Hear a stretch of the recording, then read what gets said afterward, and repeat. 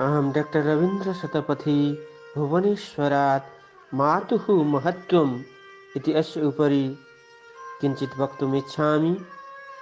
वैदिकसाहित्येषु, उपनिषत्सु, धर्मशास्त्रेषु च मातुः महत्त्वं, गौरवं च अनेकधा, अनेकप्रकारेण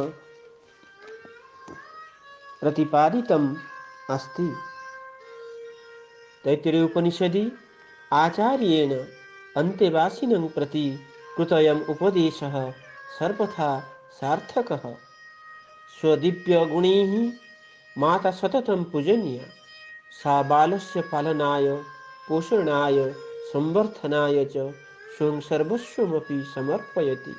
अतीव सा बलस्यापि सर्वस्वेव सा एव परा देवता माता। परं दैवतं मातृदेव भव। पितृदेव भव इति तु तैत्तरीय उपनिषदि। अनुशिष्यते।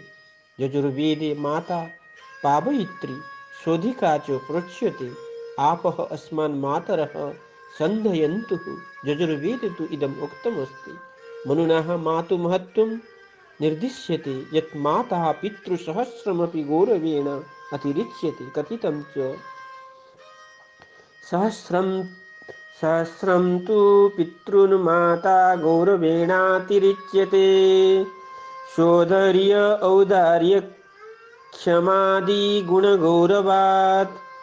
सा पृथिव्या मूर्ति एव मन्यते मनुना। माता पृथिव्या मूर्तिस्तु भ्राता स्वमूर्तिरात्मनः असारे संसारे सर्वे अलभ्यापि पदार्था परिश्रमेण लब्धुं पार्यते। परन्तु जननी जन्मभूमिः जनकः सहोदर भ्राता च अतीव दुर्लभः। धनं विनष्टमपि प्रयत्नेन प्राप्तुं शक्यते, गतं यौवनमपि औषधिप्रयोगेण प्राप्तुं शक्यते, परन्तु माता पिता जन्मभूमि सहोदर भ्राता च न केनापि प्राप्यते। अतः उक्तं, सर्पतीर्थमयी माता सर्पदेवमय पिता मातरं पितरं चैव यस्तु कुर्यात् प्रदक्षिणं प्रदक्षिणकृत्वा तेन सप्तदीपा वसुन्धरा जननी च करो यस्य पितृप्रणमतः शिरः। निपतन्ति पृथिव्यां च स्वयं लभते दिवं स्वयं लभते दिवं। दशा दशार्चायानुपाध्याय उपाध्यायान् पिता दश। पितॄन् दश तु मतीव सर्वां वा पृथिवीम् अपि गुरुत्वेनाभिभवति। नास्ति मातृसमः गुरुः। माता स्वर्गात् गरीयसी। माता एव शिशः सर्वस्वं प्रयच्छति। कदाचित् पुत्र अपि कुपुत्र भवेत्, परन्तु माता कुमाता कदापि न भवेत्। भवति वा? सर्वे महामान्याः पुरुषाः मातृभक्तः आसन्।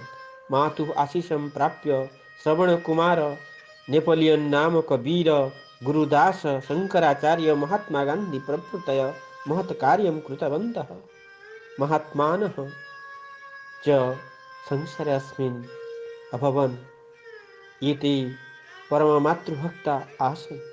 माता शिशुहितचिन्तन परम्परा शिशुसंरक्षणसंभक्ता कष्टसहस्रमपि तृणवत् गणयति।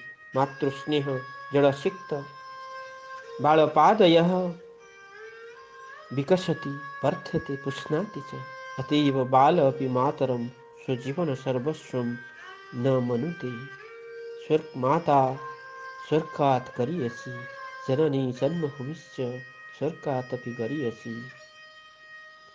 जय तु संस्कृतं जय तु भारतं जय तु मातरम्